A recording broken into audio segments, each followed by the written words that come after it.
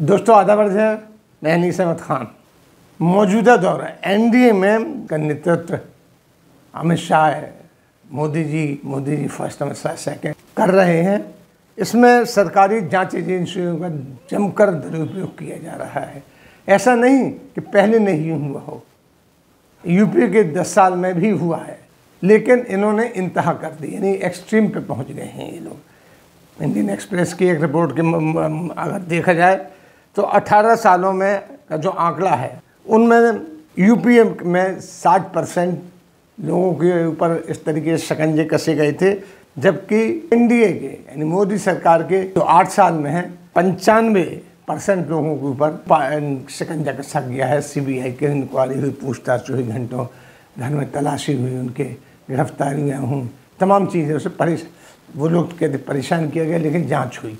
पचहत्तर, पंचानवे ninety five percent लोगों को। C B I income tax E D इन एजेंसियों का खुलकर तांडव हो रहा है, इस्तेमाल किया जा रहा है। जहाँ कहीं कुछ होता है, लगता है, आज की सरकार को उस ई डी छोड़ दी जाती है इनकम टैक्स छोड़ दी जाती है सी बी आई लगा दी जाती है।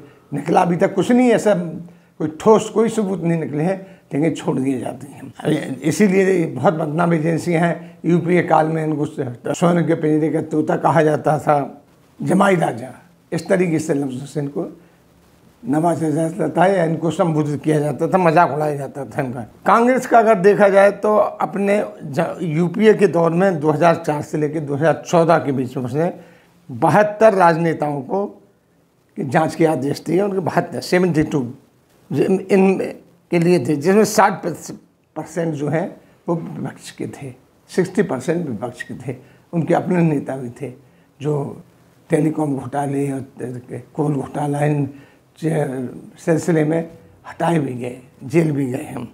लेकिन आठ वर्षों में जो एन की सरकार है मोदी जी की सरकार जो आई है, इसमें चौदह विपक्षी नेताओं के ऊपर, कहाँ सेवेंटी टू, कहाँ वन वन ट्वेंटी फोर।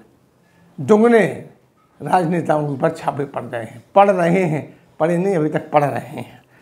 अगर यूपीए के 10 सालों में 12 पोजीशन के 60 एनडीए के जो 8 सालों में 124 जिसमें अपोजिशन के 93 लोगों को सीबीआई इनकम टैक्स ईडी के नरके में लिया गया है। अगर यूपीए को देखा जाए तो उसमें उनके ही कई लोगों को अपनी पार्टी के सजाएँ हुई हैं, जेल हुआ है, कैरियर तबाही हुए हैं। उनके पार्टी के कौन घोटाले में जो लोग पकड़े गए हैं, कहीं ब्यूरोक्रेट जेल गए हैं। एनडीए का, यानी मोदी सरकार का अब तक का हिसाब देखा जाए तो ज़्यादातर लोग छापे भी विपक्ष के पड़ रहे हैं और गिरफ्तारियाँ भी विपक्ष की हो रही हैं, घरों की तलाशियाँ ही भी विपक्ष की हो रही हैं।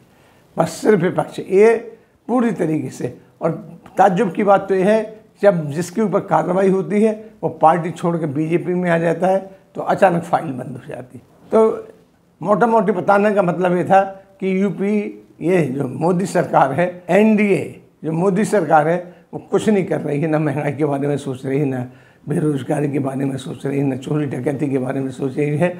सिर्फ़ वो राजनेताओं का, वो भी विपक्ष के घेर कर जेल में डालने की बात सोच रही है। इसी के साथ हम आपसे इतने विदा। अगले अंक में फिर हाजिर होंगे तब तक के लिए दीजिए इजाज़त।